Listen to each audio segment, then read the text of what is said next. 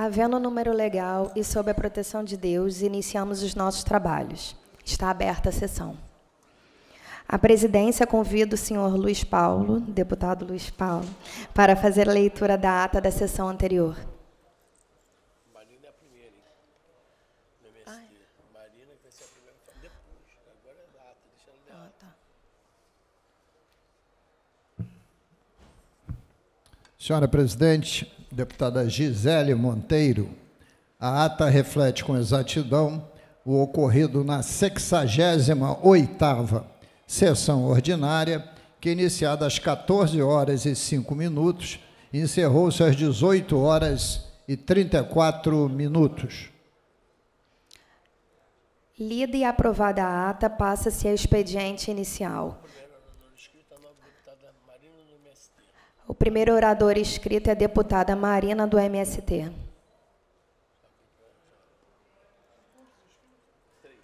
Não, eu não estou inscrita, não. Eu não estou inscrita, não. Está errado aqui, ó. Sou eu. Então, dois. Eu não.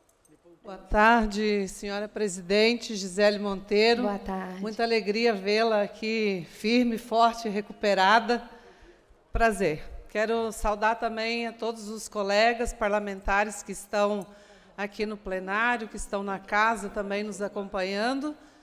Saudar todos os trabalhadores da Alerj e as trabalhadoras e também a TV Alerj, todos que nos assistem pela TV Alerj aí de casa. Motivo de eu estar aqui hoje fazendo essa, usando aqui dessa fala no púlpito do plenário aqui da LERJ é em resposta ao deputado Luiz Lima, deputado federal, que ontem fez uso da palavra também na Câmara Federal sobre o ato político-cultural a que fui convidada para estar em Lumiar no próximo domingo. E eu queria aqui ler a carta convocatória para esse ato político-cultural lá em Lumiar no próximo domingo e convocar também aos companheiros parlamentares federais né, do meu partido, aos partidos de esquerda que estão em Brasília, para que possam fazer chegar essa mensagem ao deputado federal Luiz Lima, para que ele esteja completamente ciente do porquê que eu estou sendo convidada para voltar a Lumiar e para que isso possa servir também de elementos para que ele não continue reproduzindo mentiras e fake news, tanto para o Brasil quanto para a sociedade lá de Nova Friburgo, especialmente do distrito de Lumiar. Então, carta convocatória. No dia 12 de agosto, Lumiar, distrito de Nova Friburgo, foi palco de um atentado às liberdades democráticas e de uma profunda violência de gênero. Atos de ódio e intolerância materializados em ataques à deputada estadual Marina do MST. Vamos afirmar a democracia, o amor, a fraternidade, a solidariedade e um projeto de sociedade que respeita as diferenças e socialmente justa em um grande ato no dia 27 de agosto, em Lumiar, no município de Nova Friburgo. As divergências de ideias fazem parte da democracia em qualquer lugar do mundo, mas a agressão física, psicológica e simbólica é inaceitável.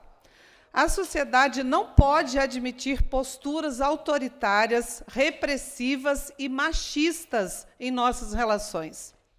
O ato do dia 27 é um grito contra a naturalização do medo, das fake news, da violência como prática e métodos políticos.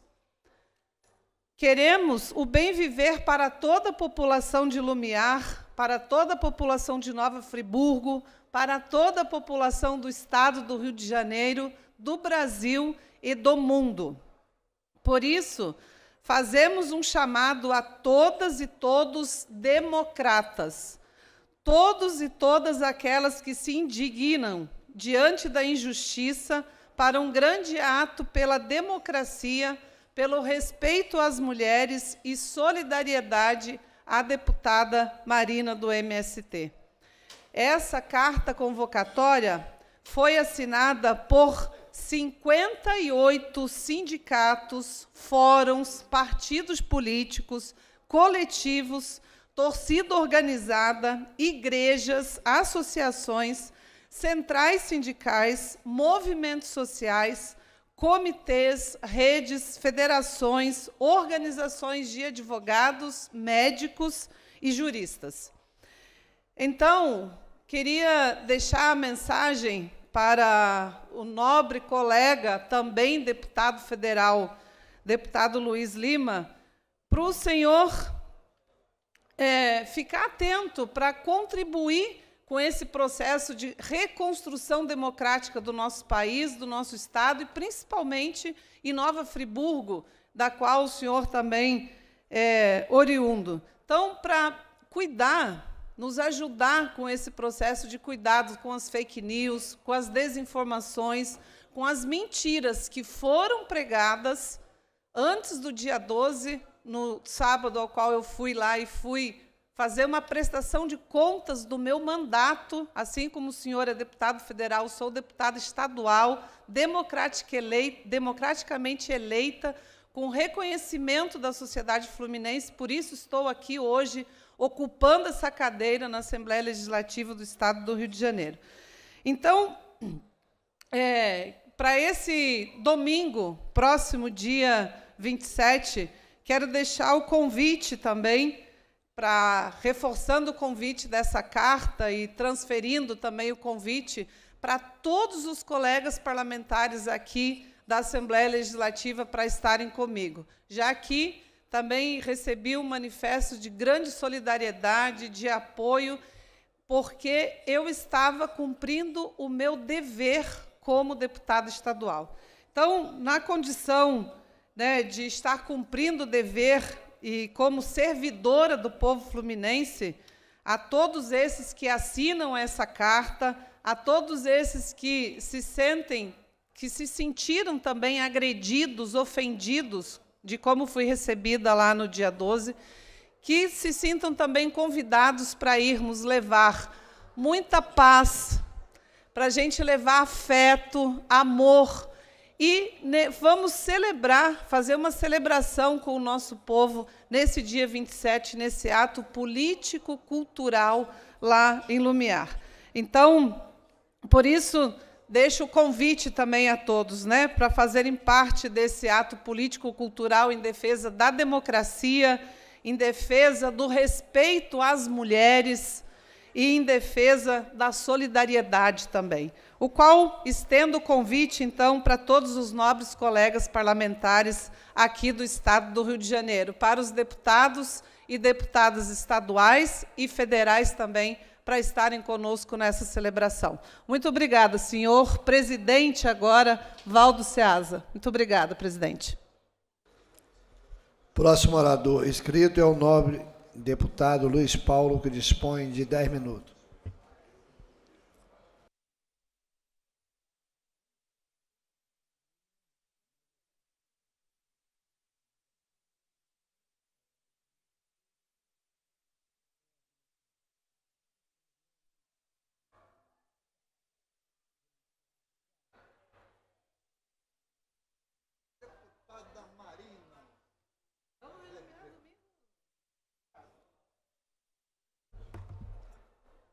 Ter tensões.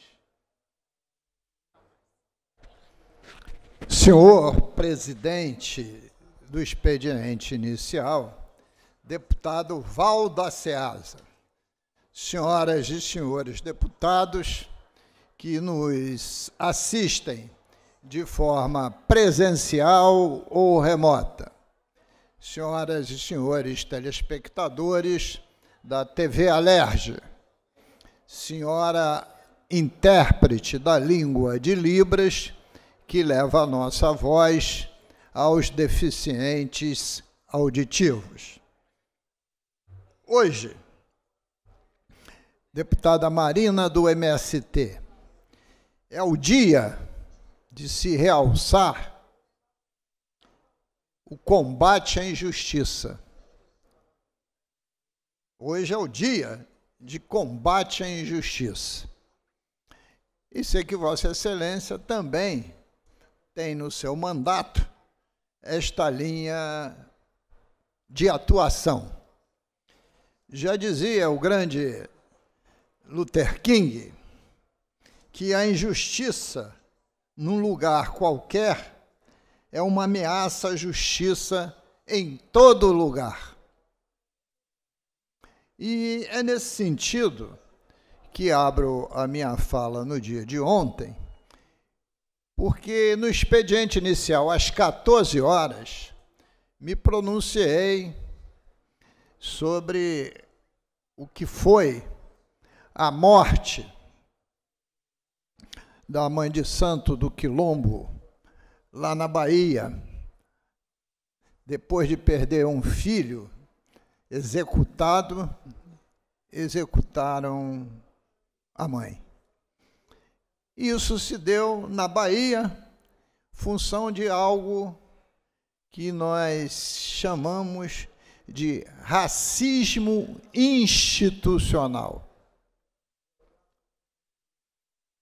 E interessante, e estou fazendo aqui o aprofundamento que é na Bahia, terra de todos os santos, um dos estados, no meu entendimento, que tem um percentual da população é, bastante miscigenada, percentual da população negra, libertária, e isso se deu na Bahia, porque a luta pelas terras, pelo poder econômico, por expulsar os quilombolas das suas terras de, de origem. E a Bahia, né, que já foi capital do nosso Brasil antes do nosso Rio de Janeiro. Né. Então, estou chamando a atenção desses aspectos, porque é a institucionalidade do preconceito racial. E é exatamente sobre isso que hoje, na Comissão de Constituição e Justiça, numa manhã épica, foi aprovado o substitutivo do projeto de lei do deputado Carlos Mink, em que eu sou coautor, que clareia que realmente bota foco, bota luz né, sobre um tema de tanta injustiça, que a prisão de pessoas, quase 90% negros, pretos, né, que são presos como suspeitos de crime por reconhecimento fotográfico apenas.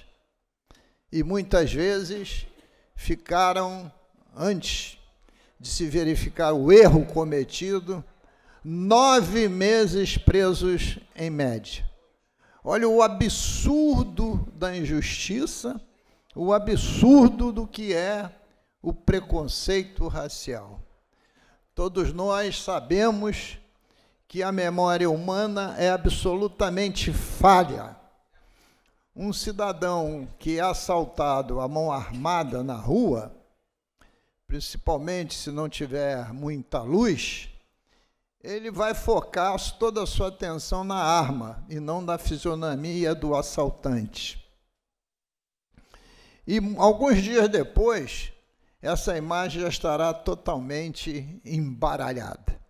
Então, neste projeto de lei, nós nos respaldamos também em recente resolução do CNJ, do Conselho Nacional de Justiça, de dezembro agora de 2022, no sentido de, de cumprir o Código de Processo Penal e de não prender ninguém baseado única e exclusivamente em reconhecimento fotográfico.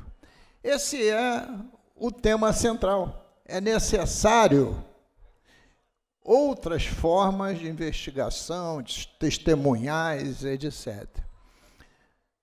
E esse projeto é importante Porque a gente vive, nos tempos atuais, com a inteligência artificial, com todas as vertentes da telemática. E é impossível que o mundo que a gente vive não esteja cheio de câmeras, cheio de formas de monitorar o cidadão por onde ele ande. E nós temos que aproveitar a telemática para fazer justiça e não para fazer injustiça. E para fazer justiça, o que se faz necessário é regulamentação. E o que nós estamos aprovando na CC, aprovamos como substitutivo na CCJ no dia de hoje, foi a regulamentação. Esse projeto já teve na, em pauta, recebeu, salvo erro de memória, 34 emendas.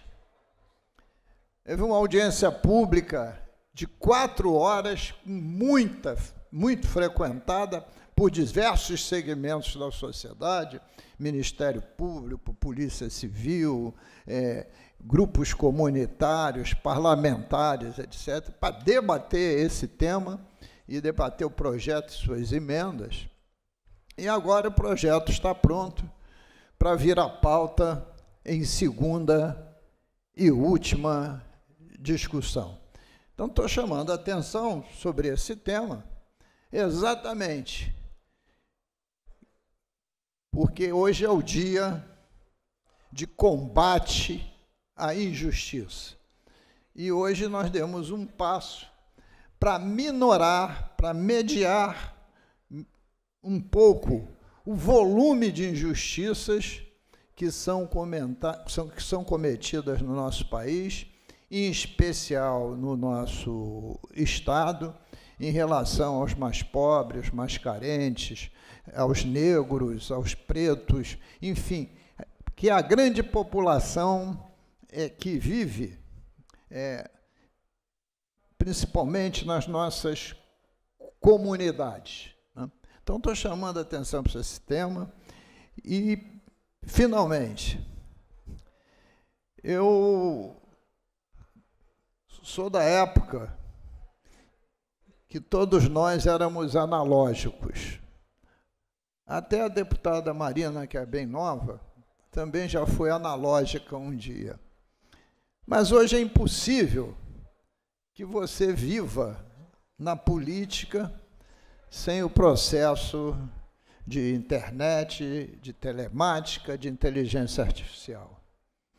E nesse processo, onde está em discussão né, o que, que pode de bom e de ruim trazer a inteligência artificial, que a gente foque nas regulamentações para que todo o processo evolutivo tecnológico seja a favor do ser humano e não contra ele. É essa que é a questão central, senhor presidente. Agradeço o tempo que Vossa Excelência me despendeu e encerro aqui. Muito obrigado. Boa tarde, senhor presidente, senhoras e senhores deputados. Era aqui trazer o conhecimento dessa casa, que na data de hoje é, foi espalhado pelas redes sociais na cidade de São Gonçalo um vídeo mostrando uma suposta conversa entre dois integrantes do crime organizado numa determinada comunidade de São Gonçalo. E nessa conversa, eles fazem menção a uma suposta exigência de recursos financeiros por parte da prefeitura por uma obra realizada. E também fazem, senhor presidente, uma menção a uma ameaça de um atentado à vida do nosso prefeito Capitão Nelson. Nós não estamos aqui afirmando que essa conversa é verdadeira, cabe à Polícia Civil, através do seu trabalho de investigação, verificar a veracidade desses fatos. Mas eu quero aqui trazer ao conhecimento dos nobres deputados e deputadas Frequentemente eu tenho vindo a esta tribuna para informar o avanço do trabalho da segurança pública na cidade de São Gonçalo, um conjunto de ações em parceria do capitão Nelson com o governador Cláudio Castro, que vem reduzindo muito os índices de criminalidade em São Gonçalo. E certamente essas ações, elas têm incomodado o crime organizado. E o prefeito Capitão Nelson, quando ele foi eleito, ele assumiu um compromisso de trabalhar em parceria com o governador Cláudio Castro pela segurança pública do município. E assim vem fazendo. E eu quero deixar aqui um recado a esses integrantes do crime organizado. Nós não daremos um passo atrás no desenvolvimento da nossa cidade de São Gonçalo, nas obras de infraestrutura e no enfrentamento ao crime organizado. Pelo contrário, se no passado tiver alguma moleza, alguma vantagem com os prefeitos anteriores, não esperem isso do prefeito Capitão Nelson. Um homem honrado, policial militar, que durante mais de 20 anos combateu o crime na linha de frente na Polícia Militar. E agora, como prefeito da cidade, vem trabalhando junto com o governador Cláudio Castro para melhorar a segurança na cidade de São Gonçalo. Muito obrigado, senhor presidente. Não havendo mais orador inscrito, a presidência suspende a sessão até às 15 horas, quando retornaremos com a ordem do dia. Está suspensa a sessão.